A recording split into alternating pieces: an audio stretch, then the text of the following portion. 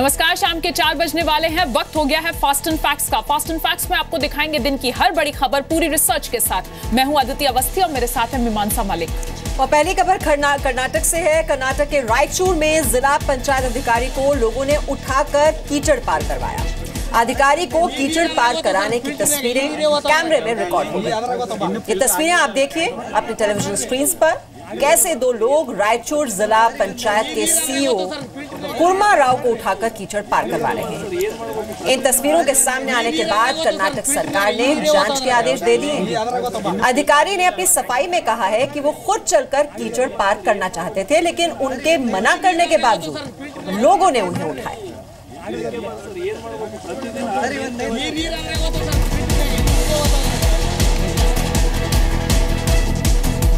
Air India के staff से मारपीट करने वाले शिवसेना सांसद रविंद्र गायकवाड़ ने कहा है कि वो माफ़ी नहीं मांगेंगे। वहीं एयर इंडिया ने सांसद का रिटर्न टिकट कैंसिल कर दिया है। एयर इंडिया के 60 साल के कर्मचारी को सैंडल से पीटने वाले शिवसेना सांसद को अपने के पर कोई मलाल नहीं है। शिवसेना सांसद ने कहा है कि वो माफ़ी नहीं मांगेंगे। रविंद्र गायकवाड़ ने दिल्ली पुलिस को उन्हें गिरफ़्तार करने की चुनौती दी है। वहीं एयर इंडिया और फेडरेशन ऑफ़ इंडियन एयरलाइंस ने संयुक्त बयान जारी किया है। सांसद रविंद्र गायकवाड़ पर किसी भी एयरलाइन में उड़ान पर बैन लगा दिया गया है। बिल्कुल नहीं। क्यों नहीं सर? नहीं मांगूँगा मेरी गलती नहीं गलती उनका है। वो, वो आपने मारा है। वो आके पहले माफ़ी मांगे बाद में देखेंगे। नहीं नहीं। मैं बिल्कुल नहीं डरा हुआ। मैं तो पहले से ही बहुत ऐसे तो हमने पब्लिक डीलिंग तो बहुत करी हुई है तो ऐसे तो लोग होते हैं जो इरिटेट हो जाते हैं uh, uh, is uh, not a thing which uh, any democratic person of any political party will encourage. And they always any physical assault will always be condemned. Ravindra Gaikwad कल सुबह A I eight five two flight से सुबह साढ़े नौ बजे पुणे से दिल्ली पहुँचे थे गायकवाड़ के पास बिज़नेस क्लास का टिकट था, लेकिन उस फ़्लाइट में बिज़नेस क्लास सीट नहीं थी। दिल्ली पहुँचने के बाद सभी यात्री फ़्लाइट से उतर गए, लेकिन गायकवाड़ नहीं उतरे। गायकवाड़ को जब विमान से उतरने के लिए कहा गया तो वो गालियाँ देने लगे और मारपीट की। एयर इंडिया ने गायकवाड़ के खिलाफ दो एफआईआर दर्ज कराई है। एक में कर्मचारी की पिटाई का आरोप, दूसरी में विमान को 40 मिनट तक रोकने का ज़िक्र। पिछले साल जुलाई से इस साल फरवरी तक के बीच घरेलू उड़ानों में यात्रियों के हुड़दंगी बर्ताव की तिरपन घटनाएँ दर्ज की गई हैं। शिवसेना सांसद पर लोकसभा स्पीकर सुमित्रा महाजन ने कहा है कि मारपीट की घटना सदन के बाहर हुई है। सभी पार्टियों ने भी शिवसेना सांसद के बर्ताव की आलोचना की।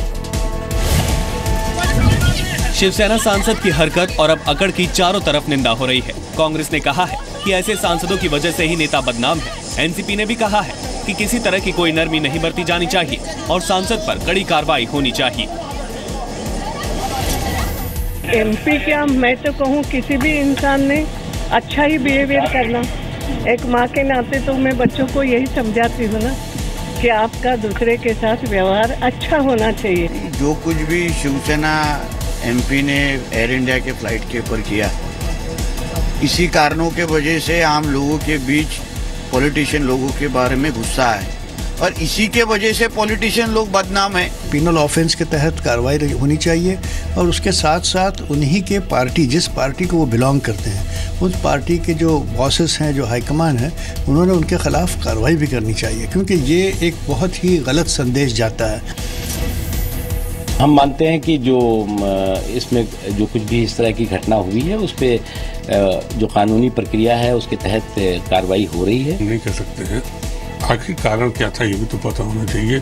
क्या बदसलूकी उनके साथ हुई, जो उनको इस तरह नाराज़गी व्यक्त करनी पड़ी? मैं नहीं कह सकता लेकिन तो भी मैं एमपी साहब से कहूँगा कि हम लोगों को बहुत कुछ आचरण में रखना चाहिए, बहुत कुछ बर्दाश्त की सीमा रखनी चाहिए। ऐसे तरह की हरकत से पूरे सभी सांसद बदनाम होते हैं, देश बदनाम होता है।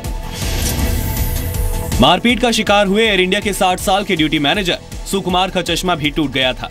2014 में शिवसेना सांसदों ने महाराष्ट्र सदन में आईआरसीटीसी केचिंग सर्विस के एम्प्लॉय अरशद जुबैर के मुँह में जबरन रोटी ठूस दी थी। शिकायत में मुख्य आरोपी राजन विचारे समेत जिन 11 सांसदों के नाम दिए थे, उनमें रविंद्र गायकवाड़ का नाम भी शामिल था।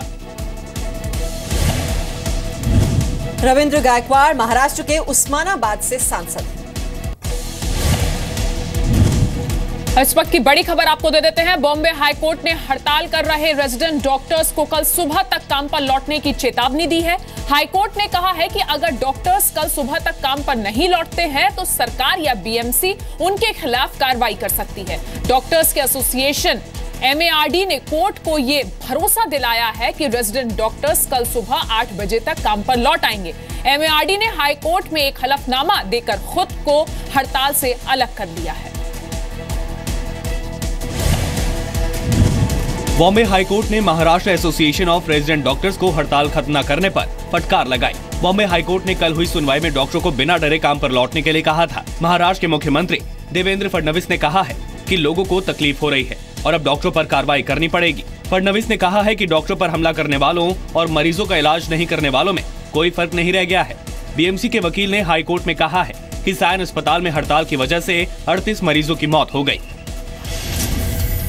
मुंबई के सायन अस्पताल के दो डॉक्टरों को पीटा गया, जबकि ठाणे में भी एक डॉक्टर पर मरीज़ के रिश्तेदारों ने हमला किया। 17 मार्च की रात को सायन के एक अस्पताल में डॉक्टर पर जानलेवा हमला हुआ था।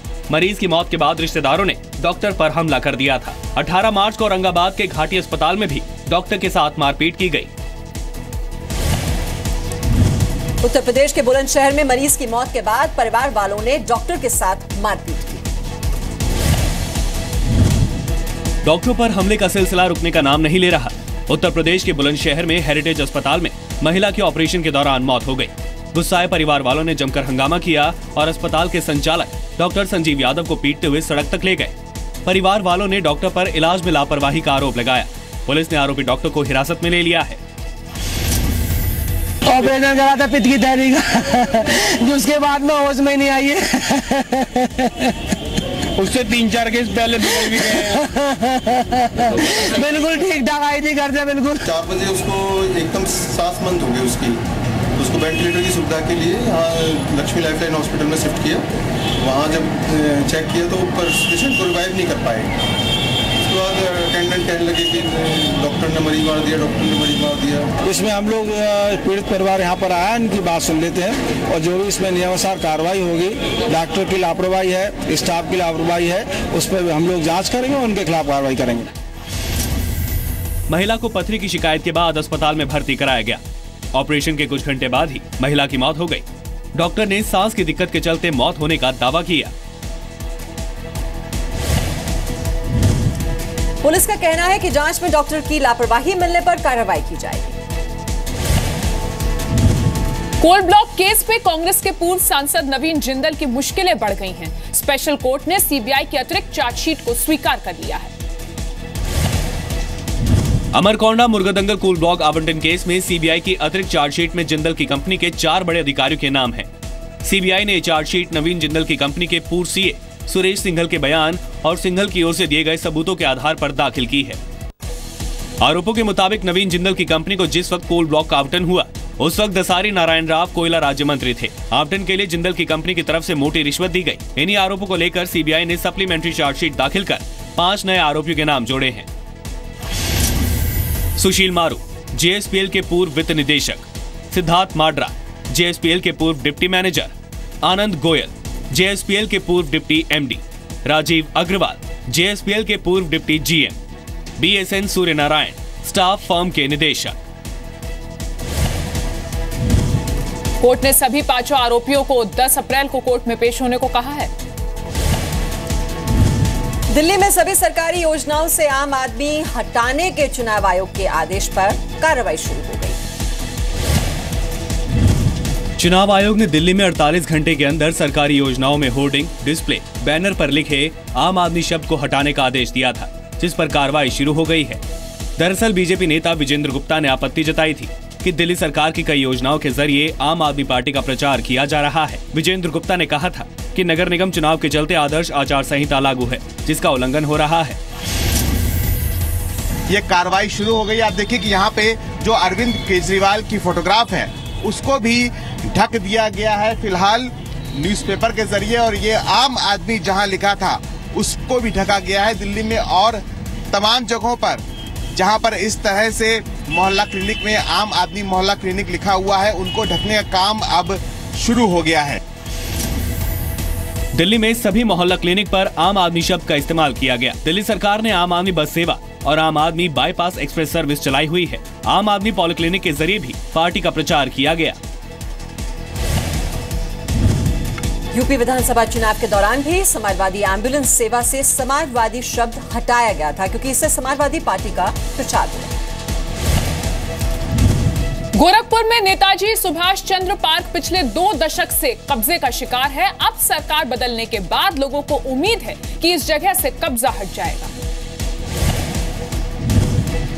इस पार्क को नेताजी सुभाष चंद्र बोस की याद में बनाया गया था। लेकिन आज यहाँ गौशाला बनी हुई है, मंदिर बना हुआ है। एक परिवार पिछले दो दशकों से इस पार्क पर काबिज है। इतना ही नहीं, पार्क में दुकानें भी खोली गई हैं। अब यूपी में सरकार बदलने और योगी आदित्यनाथ के मुख्यमंत्री बनने के बाद लोगों को कब्जा हटने की उम्मीद जगी है।